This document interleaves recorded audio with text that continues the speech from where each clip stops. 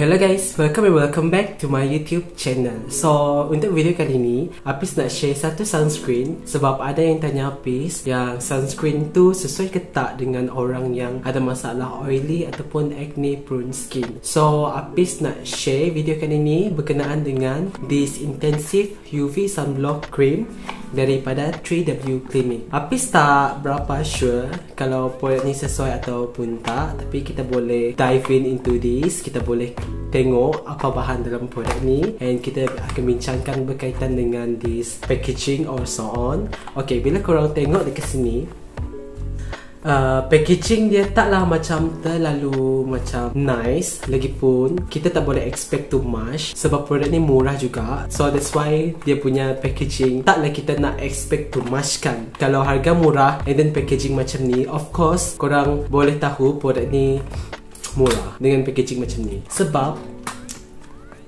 atas ni pun tak ada seal macam dia orang letak tape ke apa kalau apis lah apis lebih make sure orang tu letak tape dekat atas ni so produk ni taklah ada orang lain buka kalau korang beli lah So make sure kalau korang nak beli produk korang pastikan setiap produk yang korang beli ada tape dekat atas ni. Ada tape atas ni bermaksudnya produk tu tak ada orang buka. And then lagi satu bila korang tengok this packaging bagi Apis not bad sebab ada je packaging sunscreen lain yang macam ni. And Ini boleh lah, boleh lah. Lagipun jenis dia agak-agak boleh tahan juga. Okay, bila korang tengok di sini Dia hanya bertahan selepas korang buka. Dia hanya bertahan selama 12 bulan. So, pastikan after 12 bulan penggunaan produk ni Jangan pakai lagi after 12 bulan selepas korang buka. So, that's why macam Apis bagi tahu tadi Kalau produk tu tak ada seal macam ni Kita tak tahu siapa yang buka produk ni dulu kan. Lagi satu, benda yang Apis pelik Dalam ni pun tak ada seal Sebab Apis ada tengok review orang lain Bila dia orang buka Produk ni tak ada seal juga dekat dalam Korang boleh tengok ni ya. Okay, atas ni tak ada seal Okay, Apis picit Ini adalah texture produk ni.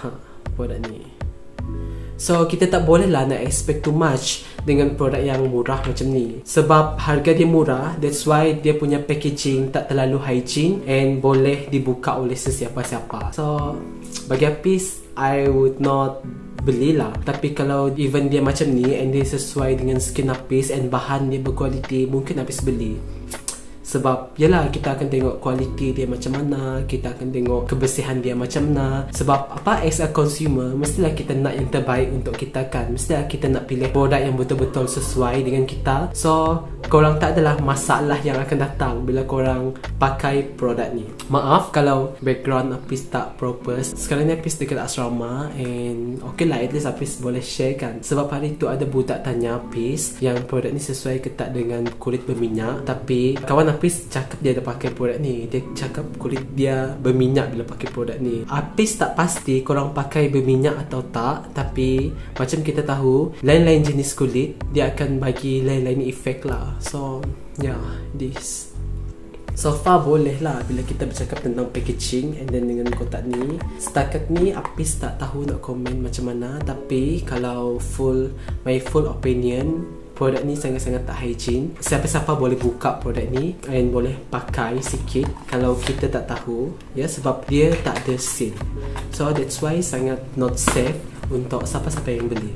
Okay, sekarang ni kita nak pergi ke bahagian ingredient Okay, bila Apis tengok list-list ingredient dekat sini Korang boleh tengok dalam ni ada zinc oxide dengan titanium dioxide. So, bila korang tengok tu Maksudnya produk ni adalah jenis uh, ada physical sunscreen. Sebab biasanya titanium dioxide dengan zinc oxide adalah physical sunscreen. And then, bila korang tengok dekat depan ni Produk ni ada SPF 50 dengan PA++ Produk ni juga mempunyai broad spectrum sunscreen. So, dia akan melindungi kulit korang daripada daripada UVA dengan UVB Bolehlah bantu kulit korang healthy and sehat kan? Tapi bila Apis tengok and Apis kaji lagi Produk ni lebih kepada hybrid sunscreen. So maksudnya dia adalah campuran antara chemical sunscreen dengan physical sunscreen. Bagi soalan yang menanyakan Apis Adakah ianya sesuai dengan kulit berminyak? Apis tak berapa sure sebab lain kulit tidak balas dia berbeza. Jadi kita tak tahu ianya sesuai ke tak. Sebab kawan Apis ada cakap kulit dia jenis berminyak tapi bila pakai produk ni kulit dia makin berminyak. So mungkin kulit dia tak sesuai. Tapi mungkin kulit orang lain lain keadaan. So that's why kita tak tahu. Even korang nak cari produk pun korang kena try and error. And then lagi satu dekat sini dekat bahan yang dia list ni Apis tak suka sebab dalam ni ada fragrance. Macam yang korang tahu bila produk korang ada fragrance dia sangat-sangat irritate korang punya skin. So make sure korang jangan pilih produk yang ada fragrance. Korang kena elakkan. Sebab bila skin korang berjerawat maksudnya skin korang tengah irritate so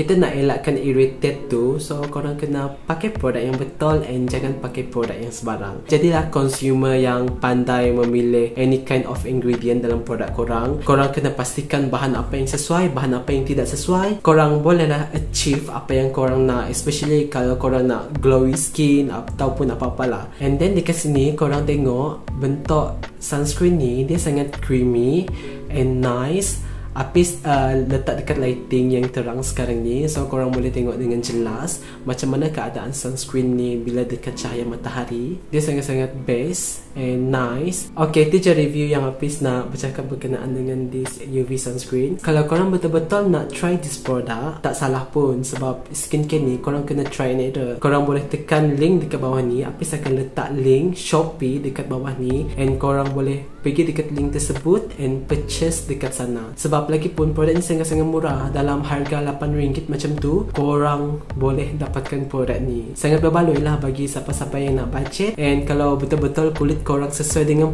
produk ni mungkin korang bernasib baik lah. Sebab boleh pakai barang murah pun skin korang boleh glowing kan thank you for watching me. Korang jangan lupa like this video. And then lagi satu jangan lupa pakai sunscreen and subscribe to my youtube channel guys and comment dekat bawah ni okay? Bye guys